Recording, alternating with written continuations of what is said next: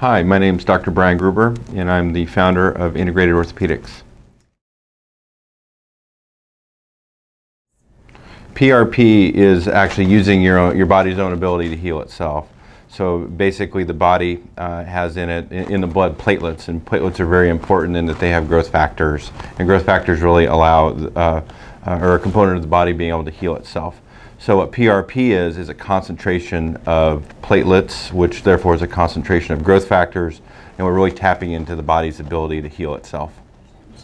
PRP is uh, used in a, a, myriad of or orthopedic uh, issues. Uh, we can use it uh, uh, in the clinical setting, meaning in the clinic, to avoid surgery, hopefully, and then we also use it in the surgical setting. Uh, for and we really started to expand the the utilization of PRP. Some of the early PRP indications uh, would be for tendon injuries. For example, this is a knee model, and this is the quadriceps tendon, so tendonitis of the quadriceps or tendinosis, which is where the quality of the tendon is affected, uh, or the patellar tendon, for example. And here with the shoulder, for example, you've got a rotator cuff. So we do a lot of PRP uh, for you know, rotator cuff disease when we really want to try to keep people uh, away from surgery if possible. So partial thickness injuries or interstitial tearing um, are very classic indications for PRP. For example, we'll go back to the rotator cuff. You can have a rotator cuff tear where if you were to look at the cuff uh, from the bottom side or the top side, both, the, the, both those would look normal. However, the inside, if you will, or think of it like the filling of it, is torn. So we call that an interstitial tear. Uh, PRP works really well for that. Basically, you're injecting the PRP in, inside the tendon and that's a very good indication. So a lot of the tendons can have that interstitial type tearing, be it the Achilles tendon, the, the lateral tendon on the elbow, uh, the patellar tendon, or even the quadriceps tendon. You can use PRP many different ways. There is one way initially is to keep people out of surgery. So uh, for different types of uh, uh tendon issues, uh, we feel that we can we're able to get the tendon uh, to, to heal itself. Uh, however, sometimes that's just not possible, uh, or if it's too far gone. So oftentimes we'll get an MRI to determine, you know, how badly the tendon is torn, for example.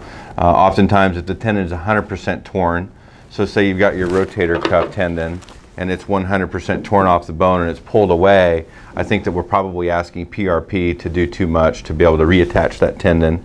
So that would be a situation where failure of conservative treatment, you'd be more inclined to go to the operating room. Um, however, in the operating room, we're, we're, we use PRP. So we'll use PRP to augment tissue to allow, again, the body's ability to heal itself. And really what we think is going on is the uh, PRP is really signaling, you know, other uh, uh, uh, tissues to come and help repair. So you've got the platelets and the, and the growth factors and, and, that whole milieu, if you will, is very um, healing friendly and it really improves the potential for the body to heal.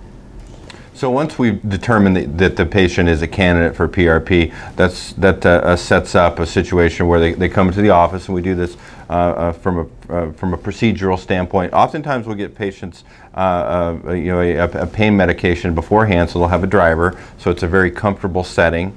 Uh, all injections are done under ultrasound, so they're guided, so we know exactly where the PRP is going.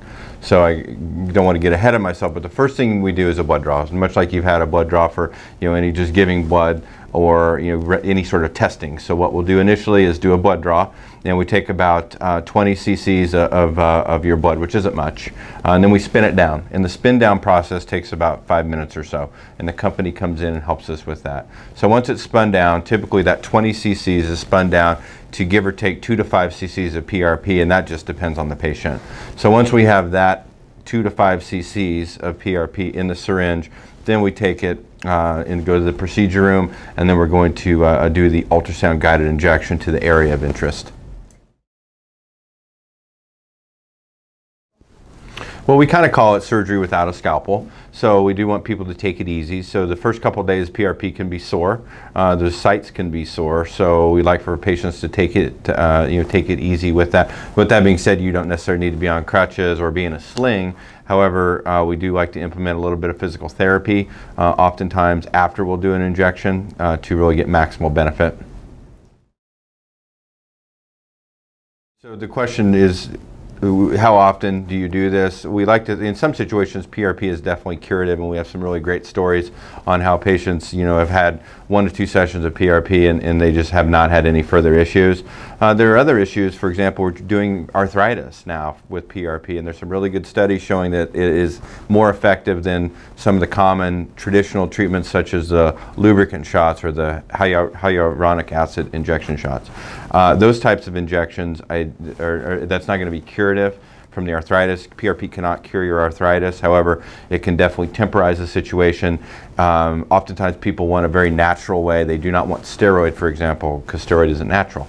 Uh, we see a lot of that. I hear a lot of that. PRP is definitely uh, um, is, is, it can't get any more natural because it's your own. So it, it's uh, very attractive to, uh, to a lot of people for that reason as well. I think the PRP is exciting. You know, I think that uh, we're on the, the cutting edge of something. And in, in 10 years, I know that we'll be doing things differently. And we're, we're, we're on something special with PRP and the other biologics that we're doing. And I think that it's something that, that all patients should you consider and continue to educate themselves on.